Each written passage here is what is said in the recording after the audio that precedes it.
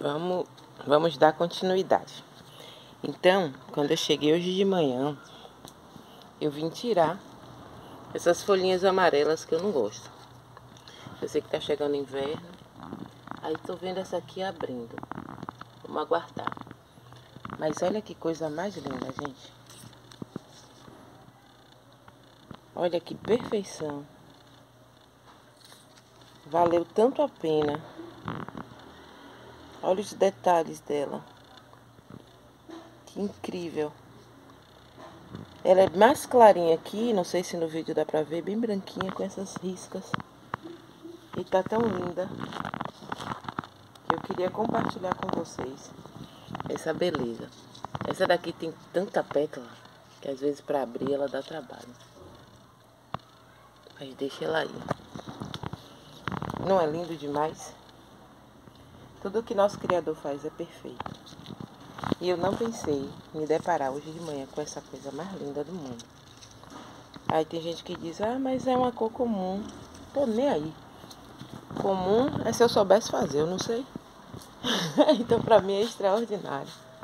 Essa fofura lá no meio. Enorme. Das minhas plantinhas. Então isso que é importante, ter paciência, viu?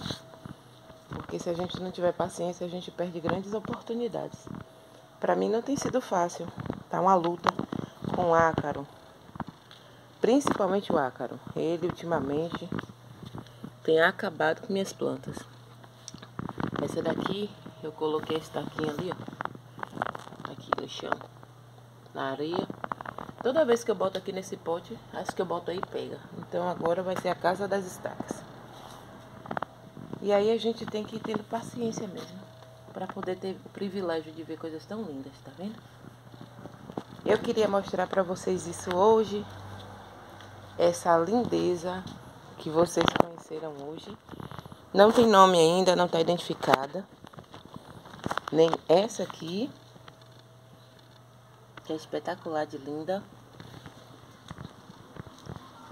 Essa aqui está melhorando. Mas também quando ela floresce, não é só assim, é bem maior. Nossas simples lindas de sempre. E vou fechar o vídeo hoje com essa lindeza. Espero que vocês tenham gostado desse vídeo rapidinho, para que a gente possa sempre estar tá aí é, atualizando nossa nossas plantinhas para que vocês possam ver, tá? É uma das dos, dos canais de roda do deserto mais que mais tenho tido dificuldade, mas não tenho desistido, tá bom? Um beijo no coração de vocês, fiquem com Deus. Um bom dia.